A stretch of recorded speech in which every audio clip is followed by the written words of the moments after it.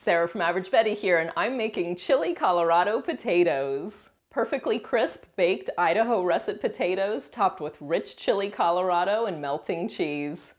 De nada. Let's make chili Colorado potatoes. This is the slow cooker and this recipe goes low and slow. Here's chopped onion, diced jalapeno, minced garlic, cumin, and some menudo mix. There's some oregano and other herbs, dried chilies. I think it makes a great kind of all-purpose seasoning for meat, especially when you're going for that south of the border feel. Here's another little shortcut in a big can of red chili sauce. The ingredients are pretty simple. Chilies, water, oil, and salt. Here's some beef broth, now entering the arena, weighing in at 4 pounds 11 ounces, guaranteed to feed a crowd, introducing Chuck Roast. Now seriously, set this on low and walk away for like two or three hours, at which point you want to give it a turn.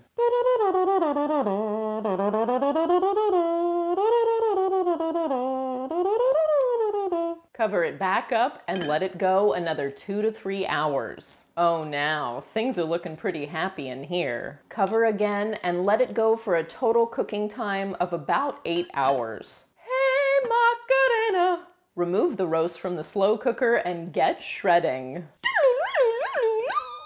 Meanwhile, back in the slow cooker, whisk in some masa harina. This will thicken the sauce. Then add back the shredded roast. Cover once again, and it's time to make the potatoes. I've got a big bowl here and some beautiful Idaho russet potatoes, about 10 ounces each. A little olive oil and coarse salt, and onto a baking sheet. Into my preheated oven for about an hour or until the internal temperature is about 210 degrees. While the potatoes were baking, the chili Colorado has thickened up and we're ready for the main event. Pay attention. I'm about to pop this papa wide open. You've heard of a wet burrito? Think of this as a wet potato. The sauce is devil red. Potato skins the color mocha.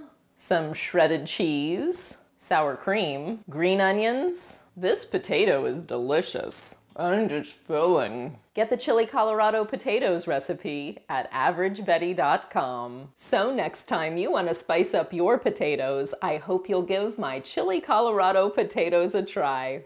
Thanks for watching and subscribing. See you next time.